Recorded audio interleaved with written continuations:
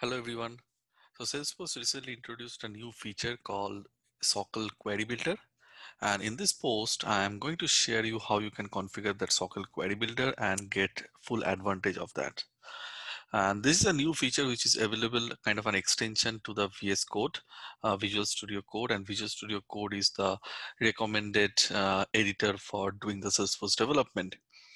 So to give you a background, before doing before this you know SOQL query builder which is currently in a beta state uh, all salesforce developer they uh, when they're dealing with any SOQL query either they will go to uh, the workbench or the developer console uh, to run their sql thing right? Sql query and execute and test and all this thing right? But the problem with that approach is like you know when you're doing uh, some development in a in an editor uh, you don't want to switch back from multiple applications to uh, do your development or to twist your query, right? So uh, I think to uh, eliminate that problem, Salesforce come up with the solution that now while you you are writing your coding, writing your code and everything in the VS Code, you can run the SQL query, test your SQL query right in the Visual Studio Code, so you, so that you don't need to jump from one application to another application. And to me, this is a very good feature, and I am quite sure that not only me, like you know, many other developers are uh, actually was was waiting for this uh, new feature. So without any further delay, I'm going to tell you how you can uh, take full advantage of this one. Uh, so first, when you open this Visual Studio Code, you need to go to this. Uh, you need to go to this extension window and then search for SOQL and the, you will find two options here SOQL and another one Salesforce SOQL editor. Uh, but you need to install this one not the second one like this one which is provided by the Salesforce. The always good part is like you know uh, here you you you will realize like who who uh, who uh, created this extension right? So for example, this is the name of the uh, name of the extension, and it was created by uh, Salesforce. So you need to come here and you need to, here will be an option called install. Here will be option called install. So you need to install that. For me, I've already installed that. So that's why it's showing as uninstall. Once you do that, what you need to do, you need to go to your uh, Visual Studio Code, you need to close and open, though it's not mandatory. Uh, but I always saw that every time you install a new extension, it is always uh, it is always good to restart the Visual Studio Code so that you can uh, you, your extension will work perfectly. Sometimes I I saw that you know without that restart, uh, whatever I'm expecting, whatever I was expecting from that uh, extension, I'm not getting full out of that. So it's always recommended that every time you install any extension go ahead and uh, go ahead and uh, uh, just you know restart your Visual Studio Code. So once you have done that, you will come back to your uh, this Explorer here where you'll find all your code and everything. You'll find there is an option. There is a there is a folder called script, and this folder will have two nested folder, one called Apex and one called SOQL. So this is the place where you will write all your SQL statements. And uh, it, this is basically writing, you know, storing all your SQL statements and, you know, uh, doing uh, testing of your SQL statement, whether they're good. And then you can import those in your Apex class or your batch class or whatever, like, you know, in, in your Lightning Web component, where method and everything, right? The thing that you need to keep in mind, any SQL uh, file that you'll be storing here it should have an extension called .soql. That's the only thing that you need to keep in mind. Once you store that, like, you know, let me create a new SQL. So let me create a SQL for contact, contact.soql. So that's the only thing that you need to keep in your mind. So the moment you do that, it will open in this way. So here is a catch. When I install this one, it was not opening in this format. It's very important to make sure like it, it opens in this format. So for me, when I was installed this one, it was opening in this way. It was opening in this way. Let's say uh, it was opening this way but I don't want to open my SQL in this way. I want to I want to open my SQL in the new SQL editor, right? So there are two ways to do that.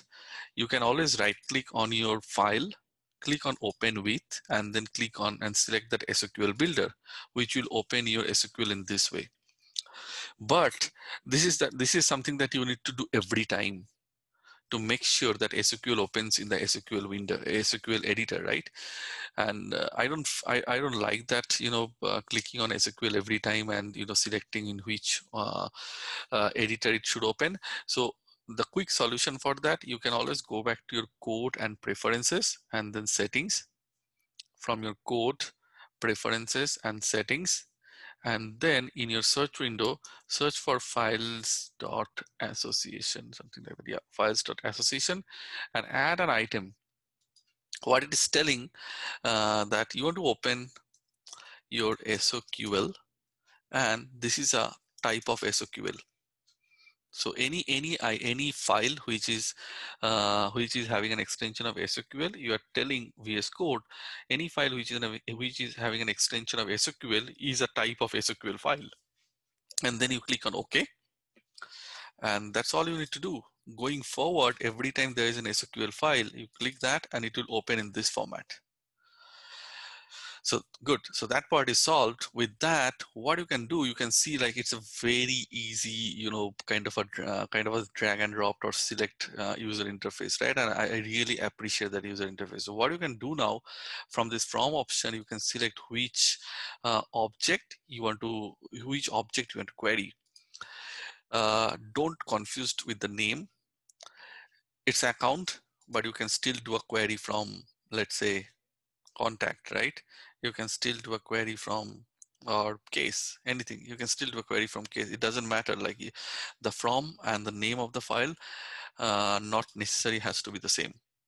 So let's say for the time being, it's an account and these are all the fields that you have, right? So let's say I select ID, name and type right it came here and the, you see like the moment i select those file those are automatically coming here then the good part is like I can do an order by. I can do an order by with all this one and I can put a limit also like I want five, I want only five, I want only 10, right? All the things like, you know, if you are very familiar with Workbench, all the stuffs that you are you are currently doing with the workbench you can do right on your vs studio code so you don't need your workbench uh, for writing your sql statement at all so let's say uh, I want to, you know, I want to, I want to get the ID name and type from the account and the order by is the created date, right? I want to do an order by with the created date and then yeah, it came as order by created date and then I click on run query.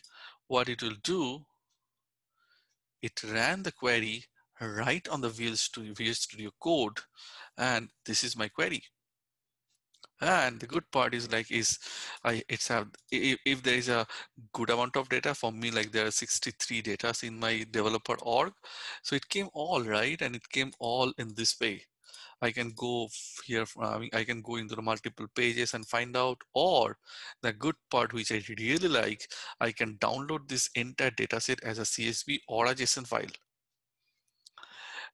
If I don't want to uh, see all the file, I can always limit thing the moment I put 10, the query change. The query is having that limit 10. And now if I run the query, it shows me only the 10 data, only the 10 records, right? And I can, again, I can do the, I can export those, this data set as a CSV or as a JSON. I'm going to put the link of my blog post in the short description of this video. So if you like this video, please like and share with others. Also, please subscribe to my channel and hit the bell icon to get instant notification on all my future videos. Thank you guys.